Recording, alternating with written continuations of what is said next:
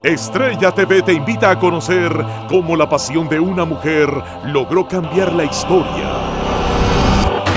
Quien manda en Castilla soy yo. Isabel, la vida de una reina. ¡Os ordeno que os retiréis! El futuro de Castilla lo llevo en mi vientre.